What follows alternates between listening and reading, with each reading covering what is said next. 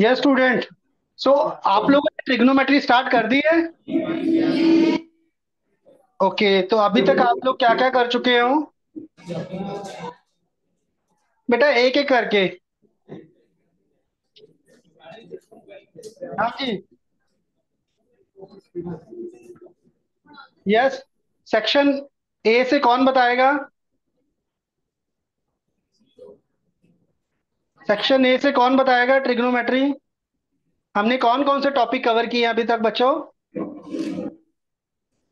Please settle down students हाँ जी। कौन बताएगा बच्चे ट्रिग्नोमेट्री में हमने क्या क्या किया अभी तक? आपको मेरी आवाज़ आ रही है स्टूडेंट्स आ रही है। चलिए, मैं पूछ लेता हूँ फिर। Kunjal tenth B please stand up हाँ जी बेटा, हमने ट्रिग्नोमेट्री में अभी क्या क्या किया है अभी तक?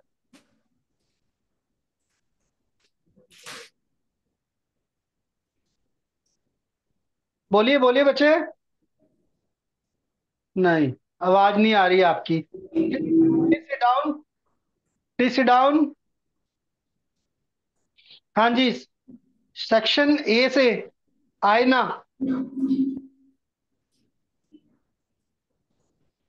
Section A tenth A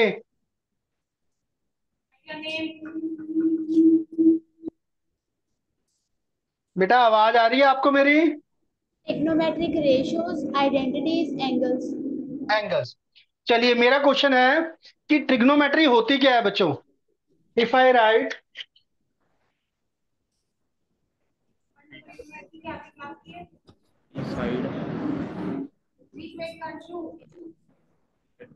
if i write trigonometry बच्चों, सबसे पहली चीज़ तो ये है, बेटा ये असाइनमेंट डिस्ट्रीब्यूशन हो गई आपकी? Do it fast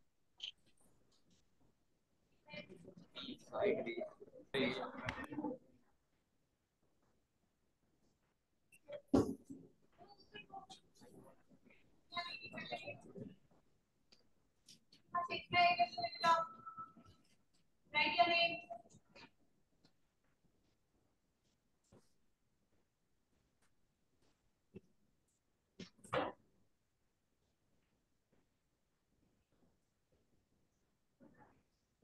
हाँ जी स्टूडेंट हो गया डिस्ट्रीब्यूशन अभी नहीं हुआ और प्लीज़ फिनिश इट बेटा. हो गया सर हो गया?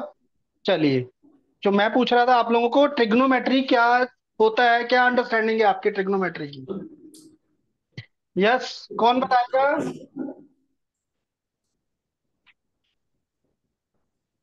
हाँ जी। ट्रिग्नोमेट्री कौन बताएगा मुझे?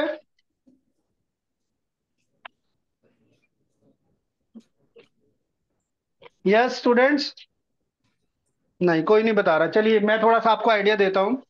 सबसे पहले तो जो वर्ड है ट्रिग्नोमेट्री ये दो वर्ड से बना है बच्चों। One is trigono another is metry what is the meaning of trigono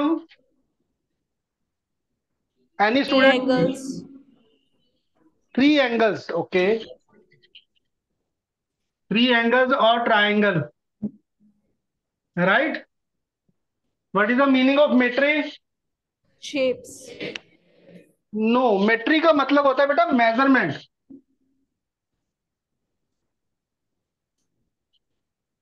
मेट्री का मतलब होता है measurement so measurement of triangles now अब ट्रायंगल्स में आपने क्या मेजर करना है? उसके एंगल्स मेजर करना है साइड मेजर करना है.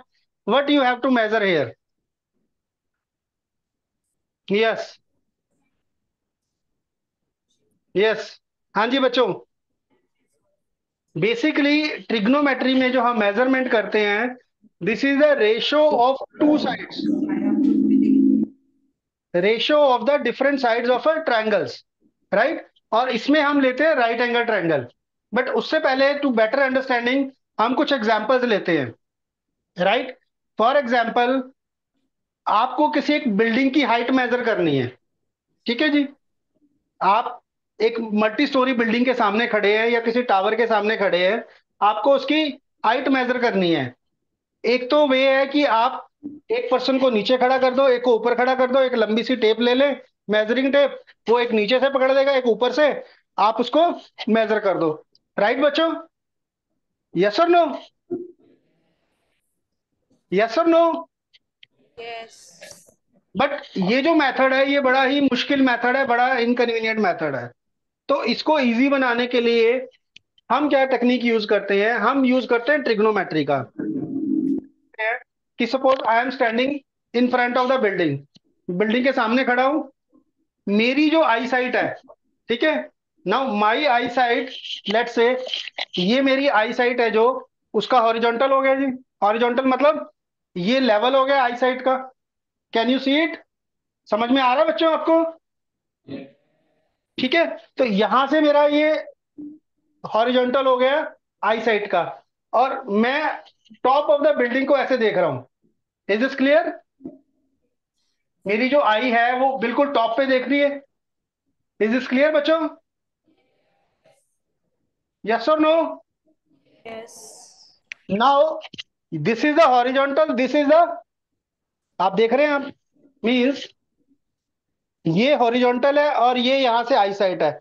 इन दोनों के अंदर एक एंगल बन रहा है बेटा? यस और no can you see this yes और नो बच्चों? यस नाउ अब अगर हम इस एंगल को मेजर कर ले right for example this is the horizontal and this is the line of sight this is a building this is a building. Can this angle? क्या हम इस एंगल को मेजर कर सकते हैं जी इजीली यस और नो यस और उसके बाद यहाँ पे हम खड़े हैं जी। हेयर वी स्टैंडिंग यहाँ से ये जो बेस ऑफ़ द बिल्डिंग है इट कैन बी मेजर्ड इसको मेजर कर सकते हैं हम? यस और नो बच्चों? यस अगर हमें ये दो चीज़ें पता चल जाती हैं तो हम इस बिल्डिंग की हाइट निकाल सकते हैं। यस और नो तो दिस जो मेथड होता है इसकी इसको इजी करने के लिए वी हैव ट्रिग्नोमेट्री हमने जो है उसको मैनुअली मेजर करना है। और उसको साइंटिफिक मेथड से जब मेजर करना है तो उसको ट्रिग्नोमेट्री यूज़ कर रहे हैं हम। यहाँ तक कोई डाउट यस और नो नो यहाँ पे तो बिल्डिंग का केस आ गया। सपोज़ कीजिए आपको किसी हिल की हाइट मेजर करनी है। अब आपको माउंट एवरेस्ट है। What is the height of mount Everest बच्चों? कौन बताएगा? एक बच्चा खड़ा होके बताइए कोई। हाँ जी सेक्शन सी से तरुण। सेंट हाँ जी बेटा what is the height of mount Everest yes अरे मुझे भी नहीं पता, कुछ भी बता दो। हाँ कुछ भी बता दो, कोई फ़र्क नहीं पड़ता। कितनी भी है, ठीक है? It is somewhere around eight thousand eight hundred forty eight meter M चलिए थोड़ा ऊपर नीचे हो सकता है बट अप्रोक्सीमेट इतनी है। अब अगर हमें उस माउंट एवरेस्ट की इतनी हाइट पे जाके अगर वो उसकी हाइट मेजर करनी हो आसान काम है या मुश्किल काम है जी? यस बच्चों? मुश्किल। मुश्किल है। उसके लिए आसान बनाने के लिए हमारे पास क्या है? ट्रिग्नोमेट्री राइट अगेन हम यहाँ पे खड़े हैं जी। Suppose this is the base of the mount Everest हम उससे कुछ डिस्टेंस पे खड़े हैं। और हमने उसके टॉप पे देखा हमारी जो आई साइट जो एंगल बना रही है उसको मेजर कर लिया हमने। राइट बच्चों? यस और हमने जहाँ पे हम खड़े हैं वहाँ से बेस का डिस्टेंस मेजर कर लिया। ये दो चीज़ें तो हम कर सकते हैं ना इजीली यस और नो यस बस इन दो चीज़ों से हम उसकी माउंट एवरेस्ट की हाइट फाइंड आउट कर सकते हैं। Is this clear is this clear और नॉट जी? यस अभी आपने ट्रिग्नोमेट्रिक रेशियोज की हैं साइन कॉस टेन ठीक है ऑल अब हम सोचते हैं कि हमारी रियल लाइफ में इसका क्या यूज़ है। रियल लाइफ में यूज़ जब आप मैथ और साइंस को कंबाइन करते हो तो आपकी जो चीज़ें होती हैं वो इजी बन जाती है। नॉर्मल सिचुएशन होती है जो लाइफ की जो मुश्किल काम होते हैं वो इजी बन जाते हैं। ठीक है? तो इसी के लिए हमारे पास ये मैथ की ब्रांच है। This is called trigonometry right बच्चों? राइट और not yes. Now we'll understand about the trigonometric ratio अब ये जो हमने रिलेशन लिया है अब हमारे पास बेस है। अगर मैंने ये राइट एंगल ट्रायंगल फॉर्म कर दिया जो उसका मैंने डिस्टेंस मेजर किया फुट ऑफ़ द बिल्डिंग और जहाँ पे मैं खड़ा हुआ हूँ। ये फुट ऑफ़ द बिल्डिंग बोलते हैं इस पॉइंट को, और जहाँ पे मैं खड़ा हूँ उस पॉइंट का। ये मैंने डिस्टेंस मेजर कर दिया एंगल मेजर कर दिया, दो चीज़ें मेजर की। अब मुझे फाइंड क्या करना है? Height of this building height के लिए मैं क्या करूँगा? अब मेरे पास दो चीज़ें हैं। दिस इज़ कॉल्ड द इसको हम क्या बोलते हैं? Base of a right angle triangle and this is known as this angle आपके पास 90 डिग्री है और 90 सामने वाली साइड को क्या बोलते हैं हम? Hypotenuse. हाइपोटेन्यूज राइट जी? सो बेस की वैल्यू मुझे पता है एंगल मुझे पता है और मुझे फाइंड क्या करना है अब?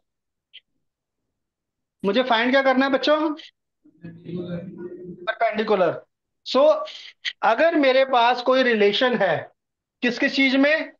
एंगल में बेस में और परपेंडिकुलर में तो मैं फाइंड आउट कर सकता हूँ हाइट चाहे वो बिल्डिंग की हाइट फाइंड आउट करना हो चाहे वो माउंट एवरेस्ट की हाइट फाइंड आउट करना हो चाहे कुतुब मीनार की हाइट फाइंड आउट करना हो राइट जी?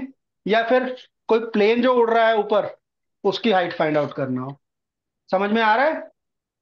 Yes ठीक है अगर मेरे को दो चीज़ें पता है कौन कौन सी? ये एंगल क्या बना रही है मेरी आई साइड हॉरिजॉन्टल के साथ? ये मेरा डिस्टेंस कितना है? ठीक है हॉरिजॉन्टल डिस्टेंस और परपेंडिकुलर मुझे फाइंड आउट करना है। तो we can do it with the help of trigonometry clear बच्चों? Yes yes or no? Now you have studied about the trigonometric ratio is this clear? What are trigonometric ratios? हाँ जी बच्चों trigonometric ratios क्या होती हैं?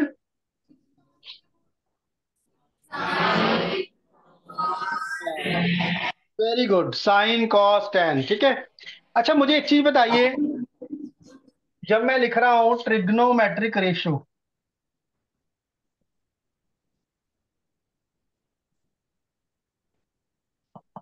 Ratio का मतलब क्या होता है? कौन बताएगा? Please raise your hand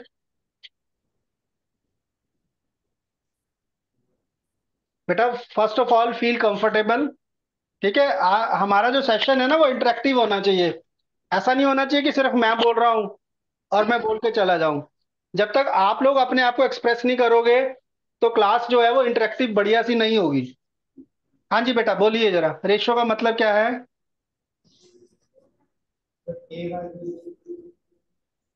A by A by B ठीक है?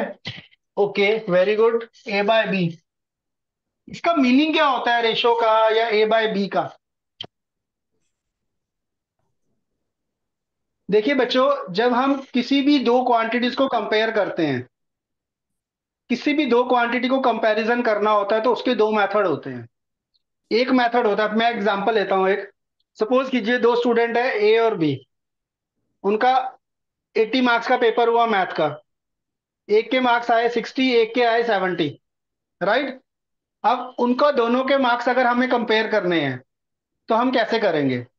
एक तो मेथड है कि मैं बोलूँ कि स्टूडेंट बी है score 10 marks more than student A एक तो मेथड ये हो गया। यस और नो इस मेथड का डिसएडवांटेज क्या है कि मुझे क्लैरिटी नहीं है कि कितना डिफरेंस है दोनों में। दस मार्क्स का डिफरेंस अगर एक बच्चे का एक मार्क आया और दूसरे का इलेवन आया है तो डिफरेंस कितना है? बहुत ज़्यादा है। यस और नो Yes. बट अगर एक के सिक्सटी आए एक के सेवेंटी आए सो so, उसका कंपैरिजन करना है। तो दूसरा मेथड होता है कंपैरिजन बाय डिवीज़न और इस कंपैरिजन बाय डिवीज़न को हम क्या बोलते हैं? तो ठीक है? सो ट्रिग्नोमेट्रिक रेशियो क्या है? ट्रिग्नोमेट्री मतलब ट्रायंगल्स की साइड्स की ratio right ratio of the sides of the right angle triangle means ratio of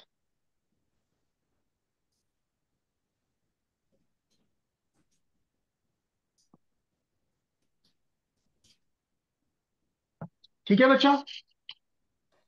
ठीक है जी? सो so, जैसा कि आप लोगों को पता है कि हमारे पास ट्रिग्नोमेट्रिक रेशियो होती है sine cos tan right so सबसे पहले तो देखिए जो वर्ड होता है साइन ये एक्चुअल में होता है S I N E sine और इसकी अगर हम हिस्ट्री देखें तो इसकी नेम की भी बड़ी हिस्ट्री है. ये जो सबसे पहले शुरू हुआ था अपने इंडिया में जो आर्यभट्ट की बुक आई थी आर्यभट्टियम वहाँ से शुरू हुआ था. इसका नेम फिर जब उसका अरेबिक में हमने ट्रांसलेट किया तो वहाँ पे इसका नेम कुछ हुआ. अरेबिक से लैटिन में हुआ, तब इसका नाम साइन आया. राइट बच्चों? तो ये जो साइन जो है राइट तो ये नेम भी है, सबसे पहले साइन आया हमारे पास। राइट और ये जो नेम है this is the first trigonometric ratio अगर हमने एक ट्रायंगल ले लिया ये let's say this is a triangle A B C और ये जो एंगल है दिस इज़ 90 डिग्री राइट बच्चों? और इस एंगल को हमने थीटा लिया। ठीक है जी? तो सबसे पहली हमारे पास रेशो होती है that is sine sine theta और इसको हम शॉर्ट में क्या लिखते हैं? साइन थीटा सबसे पहली चीज़ तो है जो हमने साइन थीटा लिखा। इसका मतलब ये नहीं है कि आप खाली साइन लिख दो और ना ही इसका मतलब ये है साइन इंटू थीटा ये दोनों ही चीज़ें रॉन्ग है। Right right? सो so, कोई भी trigonometric ratio that is meaningless जब तक उसके साथ कोई एंगल नहीं होगा। अगर ट्रिग्नोमेट्रिक रेशियो के साथ एंगल है तभी उसका कोई मीनिंग है अदरवाइज़ नहीं है। इज़ इज़ क्लियर जी? इज़ इज़ क्लियर और नॉट जी? Yes. ठीक है? तो ये जो फ़र्स्ट ट्रिग्नोमेट्रिक रेशियो होती है sine theta this is the ratio of perpendicular to the hypotenuse is this clear ji. Second trigonometric ratio क्या होती है? बेस अपॉन हाइपोटेन्यूज राइट ये बेटा मैं एब्रीवेशन यूज़ कर रहा हूँ। Perpendicular base hypotenuse is this clear ji? Yes.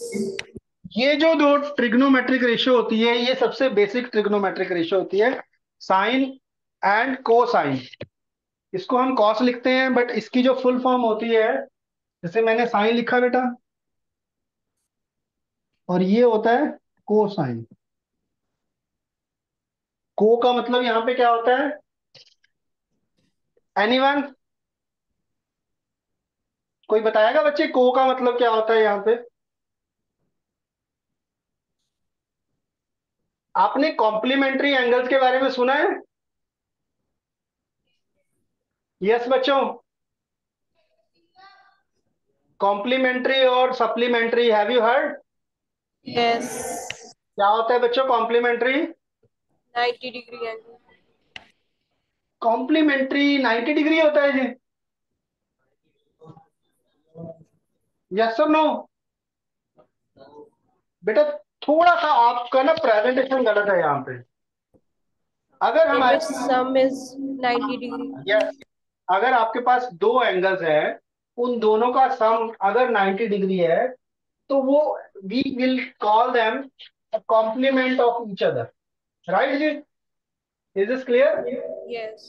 तो अगर आपके पास दो एंगल का सम 90 डिग्री है then they are called complementary angle तो साइन का कॉम्प्लीमेंट्री एंगल जो होता है वो cosine that's why it is known as cosine और आगे हम इसको प्रूव करेंगे कि why it is called cosine is this clear बच्चों? Yes. ठीक है तो सबसे पहले जो हमारे पास ट्रिग्नोमेट्रिक रेशियो है वो है sine theta perpendicular upon hypotenuse cos theta base upon hypotenuse बाकी जितनी भी ट्रिग्नोमेट्रिक रेशियो है वो इन्हीं दोनों के बेस पे है जी। राइट इन्हीं दोनों के बेसिस पे है। राइट सो उसके बाद जो नेक्स्ट ट्रिग्नोमेट्रिक रेशियो है that is tangent theta this is tangent theta और इसको हम शॉर्ट में क्या लिखते हैं? टेन ठीक है? टेन थीटा जो होता है टेंजेंट के बारे में आप सबको पता है क्या होता है जी क्या होता है बच्चों? आवाज़ नहीं आप लोगों की क्लियर है। कोई एक बच्चा उठ के बताएगा मुझे जरा? सेक्शन ए से। सेक्शन ए से Hariom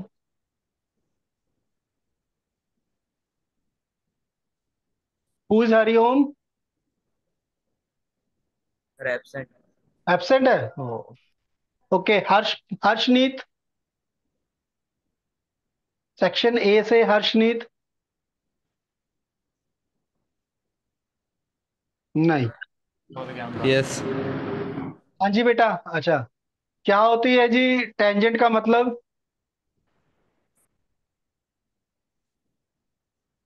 टेंजेंट का मतलब क्या होता है बेटा? चलिए, जिनको पता है, बहुत अच्छी बात है, जिनको नहीं पता है प्लीज़ अंडरस्टैंड कीजिए। अगर हमारे पास कोई भी कर्व है, अब आप कहोगे कि circle it is also a curve कोई भी कर्व है, उसके किसी एक पॉइंट से टच करती जो लाइन होती है स्ट्रेट लाइन इसको हम टेंजेंट बोलते हैं। ज़रूरी नहीं है कि इधर ये कहीं पे भी हो सकती है ठीक है? और ज़रूरी नहीं है कि ये सर्कल ही होना चाहिए। It can be any curve suppose this is a curve इस पॉइंट पे जो लाइन टच करती जा रही है this is tangent similarly this is tangent right ji? Is this clear और नॉट जी? यस बच्चों इज़ दिस क्लियर तो ये जो टेंजेंट थीटा होता है this is a ratio of sine theta to the cos theta right बच्चों? This is a ratio of sine theta to the cos theta और साइन थीटा हमारे पास क्या होता है? Perpendicular upon hypotenuse and cos theta is base upon hypotenuse H H दोनों cancel हो जाते हैं and it comes out to be P upon B is it clear anything not clear बच्चों अभी तक? नेक्स्ट ट्रिग्नोमेट्रिक रेशियो हमारे पास आती है। दैट इज़ जैसे साइन का कॉम्प्लीमेंट्री कोसाइन है, ऐसे ही टेंजेंट का कॉम्प्लीमेंट्री क्या होता है? टेंजेंट का कॉम्प्लीमेंट्री को tangent that is cot right बच्चों?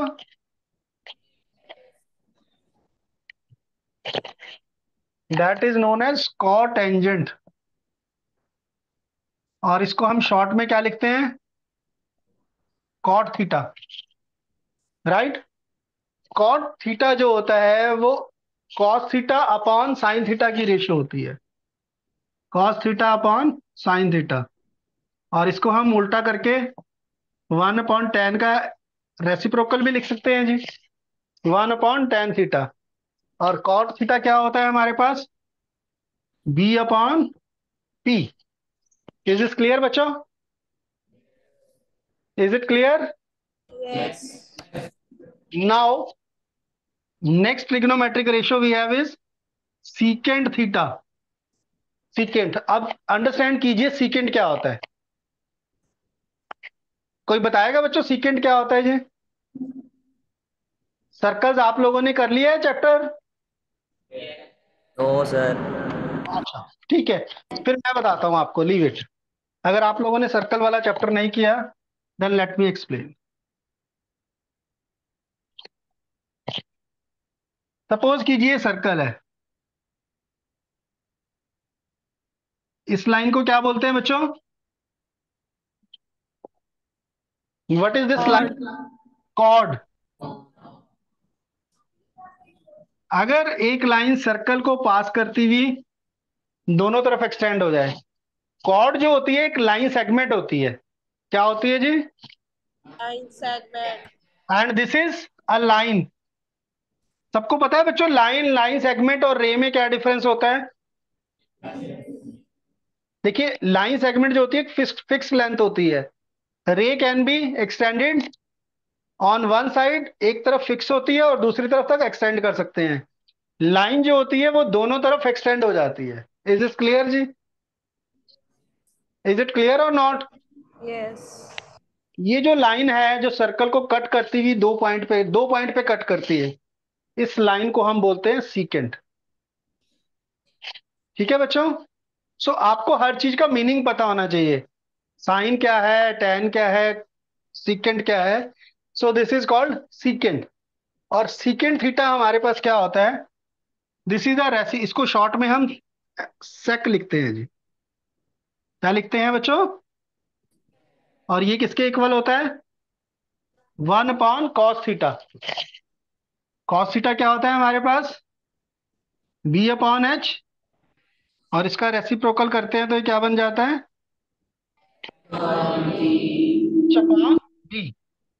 इज़ इट क्लियर कोई डाउट बच्चों? I think there is something wrong with your mic next is cosec cosec जो होता है this is a complementary of sec theta और ये किसके इक्वल होता है जी? It is a reciprocal of sine theta right और साइन थीटा हमारे पास क्या होता है जी? P upon H and it is P is it clear बच्चों? Yes Yes. तो ये हमारे पास सिक्स ट्रिग्नोमेट्रिक रेशियोज होती है। First is sine theta cos theta tan theta cot theta secant theta and cosecant theta is it clear किसी को कोई doubt बचो? आई थिंक ये बेसिक आपने किया है तो यू मस्ट बी अवेयर तो इसको अब लर्न करने के लिए हमारे पास डिफरेंट वेज होते हैं।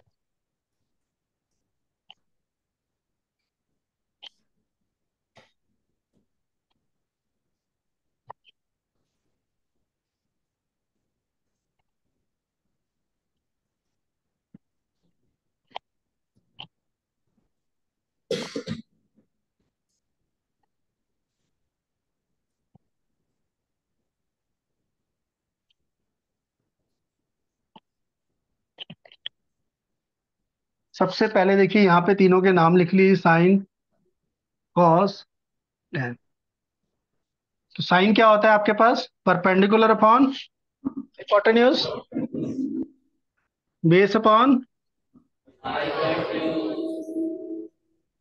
right अब इसको लर्न करने के लिए आप क्या यूज़ करते हो?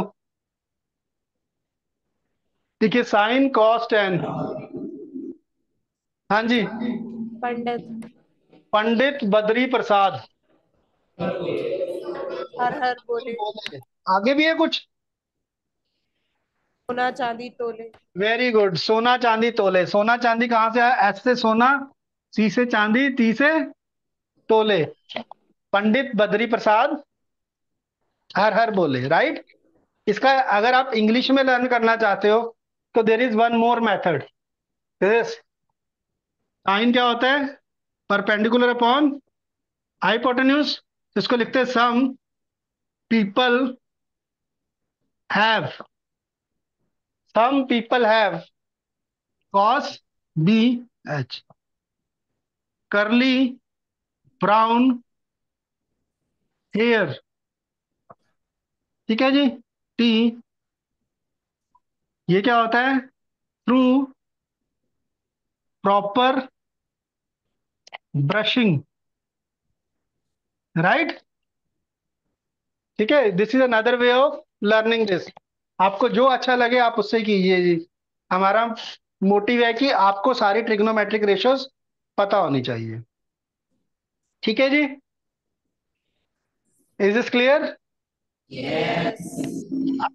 साइन का जो रेसिप्रोकल होता है दैट इज़ कॉसिकेंट तो यहाँ पे ऑर्डर उल्टा हो जाएगा। This is secant and tan का जो रेसिप्रोकल होता है that is so you have to remember this table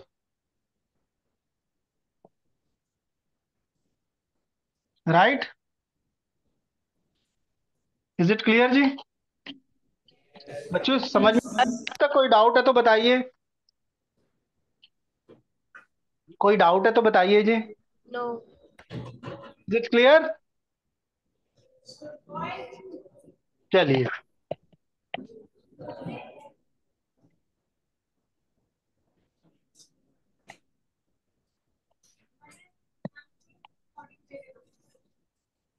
बेटा, कोई आवाज़ आ रही है? कुछ बच्चा कोई पूछना चाहता है?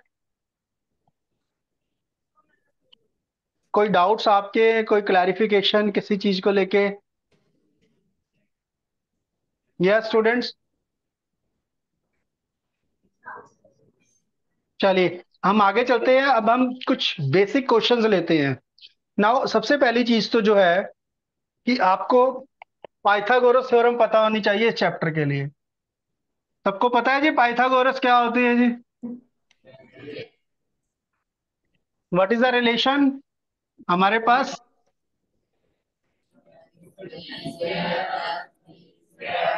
ठीक है? ये जो रिलेशन है, ये बार बार आपके पास यूज़ होगा इस टॉपिक के अंदर। जहाँ पे कुछ नहीं लग रहा, वहाँ पे पाइथागोरस लगा दो। राइट और पूरी ट्रिग्नोमेट्री जो है complete trigonometry revolve around this formula हर कुछ इसी थ्योरम के ऊपर बेस्ड है पाइथागोरस थ्योरम के ऊपर। आप कुछ भी पिक कर लो this theorem is there right is is clear बच्चों? तो इस. पाइथागोरस को आपने भूलना नहीं है और इसका आपको टोटली बहुत अच्छे से पता होना चाहिए। आप कोई भी आइडेंटिटी फाइंड आउट कर लो। Every identity is based on Pythagoras. आपको इसका वर्किंग रूल आना चाहिए। स्क्वायर रूट कैसे फाइंड आउट करते हैं? सारा कुछ इसी थ्योरम से आपके पास आएगा जी फॉर एग्ज़ाम्पल हम एक ट्रायंगल लेते हैं बच्चों।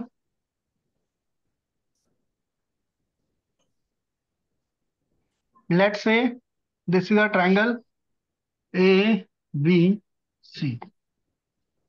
Right? It is right angle at B. Is this clear, bachcho? Now, if two side of this triangle, it is given side AB and BC are in ratio 3 is to 4. Right? AB and BC are in ratio 3 is to 4. Then find the trigonometric ratios. Find all the trigonometric ratio.